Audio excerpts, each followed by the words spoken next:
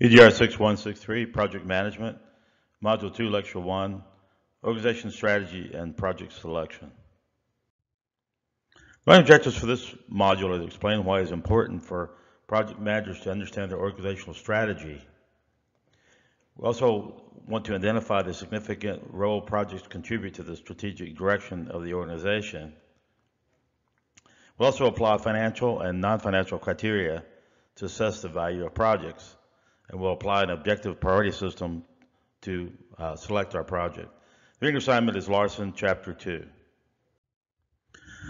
Strategy is fundamentally deciding how the organization will compete with other, other companies and other organizations. Each organization uses projects to convert strategy into new products, services, and processes needed for success. Aligning the projects with strategic goals of the organization is crucial for business success.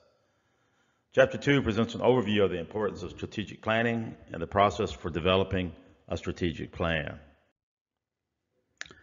The two main reasons why project managers need to understand their organization's mission and strategy. First of all, uh, it's so they can make appropriate decisions and adjustments.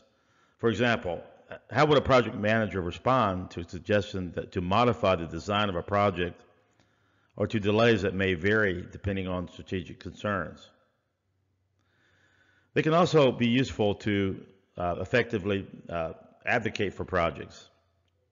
Project managers have to be able to demonstrate to senior management how their project contributes to the firm's mission in order to gather their continued support. It can also be useful to explain to stock stakeholders why certain project objectives and priorities are crucial in order to secure buy-in on conscientious trade-off decisions. I also explain why the project is important to motivate and empower the project team. So strategic management process, this is a big, this is an overview. So what, what is it? It's the process of answering what we are and deciding uh, how to implement, implement what we intend to be and how we are going to get there.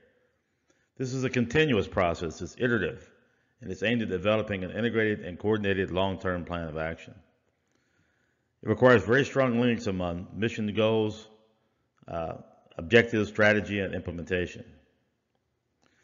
There are two major dimensions of strategic management. The first one is to be able to respond to changes in the external environment and allocate the firm's scarce resources to improve its competitive position. There are also internal, internal responses to new pro action programs aimed at enhancing the competitive position of the firm. The four activities to the strategic management process. First is to review and define the organizational mission. The mission identifies what we want to become. Mission statements identify the scope of the organization in terms of its product and services. The second is to analyze and formulate strategies. Formulating strategies answers the question of what needs to be done to reach our objectives. Strategy formulation includes determining and evaluating alternatives that support the organization objectives and selecting the best alternative. The third one is to set objectives to achieve strategies. Objectives translate the organization's strategy into specific, concrete, and measurable terms. Objectives answer in detail where a firm is headed and when is it going to get there. And finally, to implement strategies through projects. Implementation answers the questions of how strategies are, will be realized given available resources. So this graphic is an overview of the, of the process. Uh, you know, first we, we have to uh, come up with our mission statement to figure out what we are now. Uh, once we figure out what we are now, we can set strategies and objectives uh, to determine, uh, you know, what do we want to be. That leads to some portfolios of strategic choices we have to be made, a strategy implementation. Uh, once we figure that out, we can we can implement strategies to get where we uh, want to be, and that is formed through projects. That's how projects fit in to the uh, whole mission mission statement. So objectives the key thing with objectives is that they translate the organization strategy into specific, concrete, and measurable terms. Our book gives a little acronym called SMART. Uh, an objective has to be specific, it has to be measurable, it has to be assignable, realistic, and time related. Uh, if you're missing one of these, uh, then you really don't have an objective. So they, once we figure out, you know, our mission statement and we we define our uh, uh, projects we want to, want to do, uh, we need to come up with uh, what's known as a project priority system. These are ways to implement our projects. Uh, and unfortunately, implementation of projects without a strong priority system to, to figure out which projects we're going to do uh, can often link to problems. And so uh, this little slide points out the three common problems that, that, you end up having. The first one is what's known as an implementation gap. Uh, and that occurs because in many organizations, top level management uh, formulate the strategy and leave the implementation of the strategy to, to uh, the managers. Uh, so, you know, the, the, problem is that since the objectives and strategies are made independently, you know, from the mission statement, that can cause a disconnect between the strategy and priorities, and that's what's known as the implementation gap. The second problem occurs because you, you in every organization you have organizational politics. Uh, this can have a significant influence on which projects receive funding and which receive priority. Uh, this is especially true when the, priority, when the criteria and processes for selecting projects are ill-defined and not aligned with the mission of the firm. Uh, project selection may not be based so much on facts and sound reasoning as it is on, uh, you know, the individual person advocating for the projects.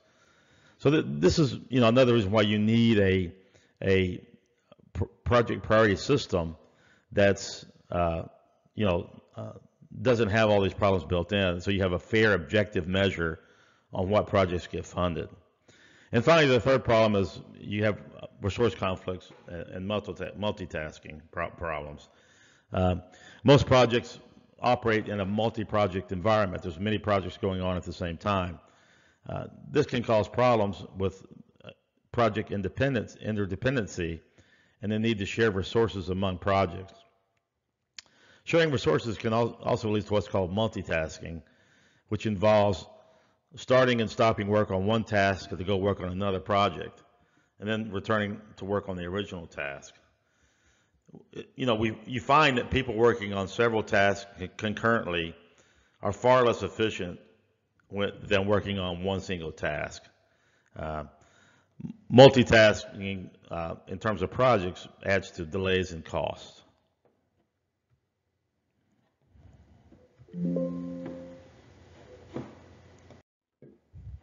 So what are some of the benefits of project portfolio management? First, it builds discipline into project selection process.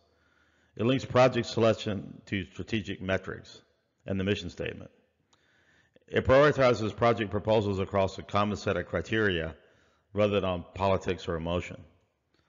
It allocates resources, resources to projects that align with the strategic direction of the firm. It balances risk across all projects. It also justifies killing projects that do not support the organizational strategy. And finally, it improves communication and supports uh, agreement among uh, project goals. So many organizations find they have three basic kinds of projects in their portfolio. The first is what's called compliance projects. These are must do. These are these are uh, uh emergency kind of actions you must take, uh, typically to uh, come in compliance with some kind of federal or state regulation. So these are these are needed to, for uh, regulatory conditions uh, required to operate in a region. Uh, hence, they're they're, all, they're, what's called must do. Uh, for example, you know uh, these are kind of projects such as uh, you know building an auto parts factory destroyed by a, a hurricane or recovering a crash network. These are examples of must do projects. these compliance and emergency projects usually have penalties if they're not implemented. The second type of projects was called operational projects. These are those that needed to support current operations. These projects typically are designed to improve the efficiency or, de- or delivery of systems, uh, to reduce costs, and to improve the performance. And finally, there's what's known as the strategic projects. Um, these are uh, directly support the organization's long-term uh, mission. Uh, they frequently are directed toward increasing revenue or market share. Examples of strategic projects are, are new products, new technologies, uh, research and development. So before we delve into the, the fine details of project selection, we need to put all this in, uh, into perspective. Uh, this selection process is the first part of the management system that spans the entire lifetime of the project. Uh, the system has been described as a series of gates that a project must pass through in order to be completed. Um, the purpose is to ensure that the organization is investing time and resources on worthwhile projects uh, that contribute to this mission and strategy. Each gate associated with a project uh, phase represents a decision point. Um, so this this kind of lays out uh, this slide the, the strategy here. Uh, you know these gates uh, the project must pass through. Uh, each gate can lead to three possible outcomes. Uh, you know, go go ahead and proceed with the uh, with the project, kill the project, or recycle, revise, and resubmit the project. So first of all, this let's talk about you know here's here's phase one. I would call it. This is uh, this is this phase is often uh, invisible. It occurs inside the head of a person who has an idea for a project and must decide whether it's worthwhile uh, investing the time and effort to submit a formal proposal uh, up through the chain of command.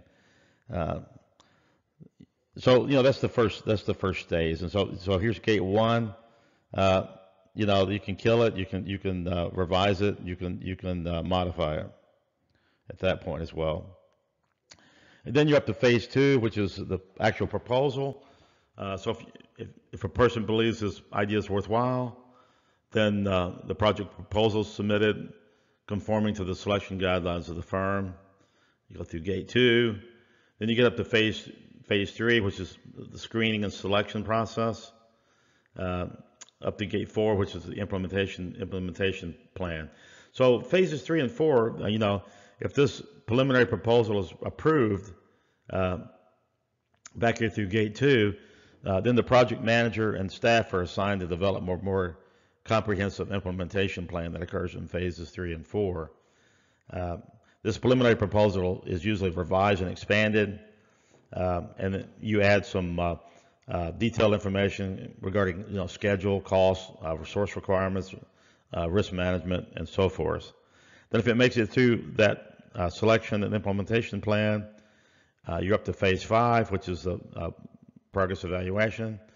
Uh, so, you know, after gate four, the, pro the project is underway. Uh, you know, and even when it's underway, you're still going to go back and you're going to evaluate it.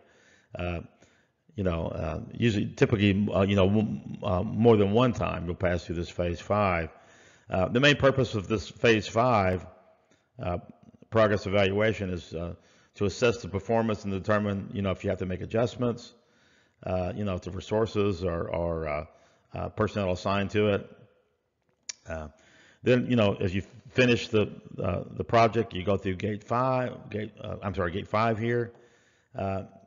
you know, and this this last phase is sort of like the finish line. It's it's here the the customer acceptance has been achieved and management has signed off on the on the project. Uh, and here, you know, coming through here, you reach up to what's called the closure stage, where you have a uh, a, uh, a, project audit to assess the success, uh, as well as maybe you know some lessons learned uh, on what you learned from the project itself. So finally, we get to the selection criteria. You know, what kind of, of criteria are we going to use to select uh, what projects we, we fund? Well, you know, there are really two two categories. There's what's called the financial criteria uh, or the non-financial criteria. Now, you know, back in the old days, it was pretty much everybody just did the financial criteria, uh, and we'll talk about that next. Uh, but lately, you know, the last 10, 15 years, they've also added what's called non-financial criteria, uh, and we'll talk about that as well. And uh, we'll also talk about the, the checklist models and the uh, multi-weighted scoring models in, in lecture two. So first, let's talk about the, the financial criteria. There's basically two two ways you can do this. The first one is is uh, uh, the kind of simplified method. Uh, uh it's called the payback model. It's uh, it measures the time the project will, will take to recover the project investment. So to start a project, you know, you have to have certain money up front to start it. Well, how long is it going to take us to uh, recoup our investment? and obviously, you desire, desire a shorter payback period. Um, you know, so this this payback model is the simplest and most widely used. Uh, it emphasizes cash flow, and uh, it does have some limitations though. It uh, uh it ignores the time value of money, which which uh, the second method will actually uh, take that into account. So what does what does time value of money mean? Is it means a dollar today is worth more than a dollar dollar next week, right? Because if I have a dollar today, I can invest it and I can I can earn interest on it. Um, so it's worth more than a than a dollar next week. Um, that also assumes the cash inflows for the investment period uh, and uh, only uh, and does not consider profitability. So the payback formula is pretty simple. It's the payback period in years is equal to the estimated project cost divided by the annual savings.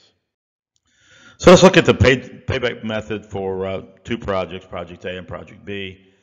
Uh, project A, the initial investment is $700,000 with an annual savings calculated to be 225,000. Project B is 400,000 and the annual savings is 110,000. So these are these are the givens, uh, the investment and the annual savings. Now the payback period, that's simply found by dividing uh, the investment divided by the annual savings. So here's the formula. So when you plug that in, you get, you know, it would take three 3.1 years to pay back Project A. For Project B, uh, 3.6 years. Uh, you divide uh, 400,000 by 110,000. The rate of return is simply the, the uh, inverse of um, uh, the payback period uh, in percentages. so the rate of return for project A is 32.1%. For project B is 27.5%. So, you know, we're told in the, in the book that, you know, that you, you know, we, are going to accept it if the if it's uh, uh, the payback period is less than five years and exceeds 15% desired rate. That's what we're given. So in this case, uh, both of these are acceptable. Uh, but again, the problem here is that this doesn't use the, the uh, time value of money. So let's look at the, the second method uh, and figure out how to do that. So the second method is called the net present value method. And uh, uh, so here, you know, uh, when you calculate it, and Excel has a formula to calculate it. Uh, uh, I'll show you how to, how to do that in Excel. There's a mathematical formula. You could do it by hand, but but but uh, there's no reason to do that when you have Excel. It's Excel will do it for you automatically. You just plug in the, the, the relevant columns and rows. So first of all, you know, when you calculate this, you know, what does it mean? Well, uh, you prefer uh, positive net uh, positive value to negative net positive value. Uh, and if both of them are positive, you rather have the higher positive. Uh, and again, it's more realistic because it considers the time value of money, uh, cash flows, and profitability. So here's the example. It's a uh, example, um, um, the same example basically. It's except here, you know, we got the 15% uh, so the top uh, uh, column, or rows 5 through 10 is Project A, and then rows 13 through 18 is Project B. And I'll send you the Excel template here so you can actually go through these numbers yourself. Um, so year zero, this is our initial investment, the the um, uh, I zero. The, uh, uh, and then for the inflows, we have each year we're going to have to, you know, 225, 225,000. Um, the net inflows is just, uh, uh, uh, since there's only one value here, this, uh, each one of these just comes down to this next row here. Uh, so here, the total, you just sum across uh, the, there's only one outflow, so that sums across here for the total. And here with the inflows, again, this is just the sum of year one through year five. Um, and then uh, for the this number is the difference between these two values. So here for uh, for the net positive value, you take uh, uh, here's the formula C7, which is the initial investment, plus uh, the Excel formula uh, is net positive value. B6 is the uh, you know what you want to get, the return you want to get, and then it's it's it's you're doing a D7 through H9. Uh, I'm sorry, uh, D9 through H, H9, which is uh, uh, this value uh, plus this value plus that value plus that value is fed into there. And then the, the formula calculates it here, so it ends up being a positive 54,235. Well, when you do the same thing for project B, you find it's a negative value. So here, uh, you know, it's pretty simple. You uh, you want to accept project A and and uh, reject project B, uh, and that's why you know the net positive value method is is much more um, accurate and much more uh, realistic in the real world. Okay, I'll see you guys in uh, in lecture two.